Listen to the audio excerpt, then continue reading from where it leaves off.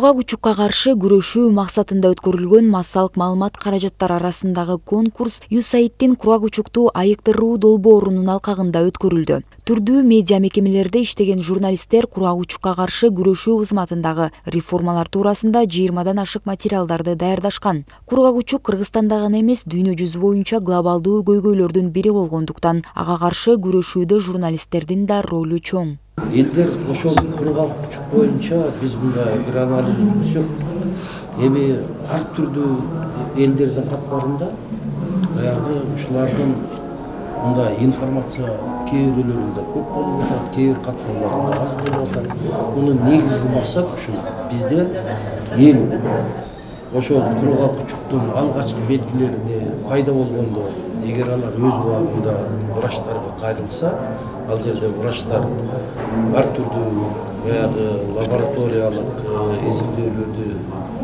жүргүзүп ошо кургак учук оорусунун так диагнозу коюлгондон кийин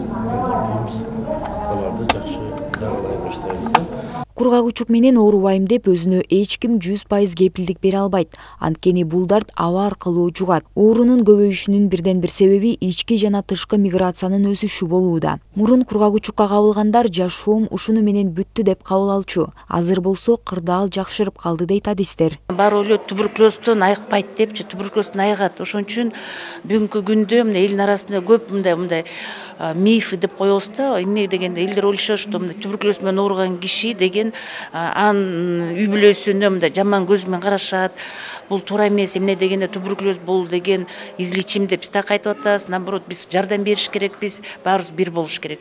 Мына бүгүнкү күнү мына көп жакта өтө көп э, мындай ошо кургак учуу оору боюнча информация көп. Биз ойлойбуз биз биздин элибизге өтө пайдалуу изилдөөлөр боюнча кургак учук дүйнө жүзүндө өлүмдүн негизги он себебинин бири болуп саналат. Дегени менен кургак учук айыга турган оору. Ушул себептен бул илдетке каршы күрөшүүдө бир гана дарыгерлердин журналисттердин гана эмес жалпы коомчулуктун аракети маанилүү. Айдай ташыбекова мурат жолукеев улук азизбеков утрк чүй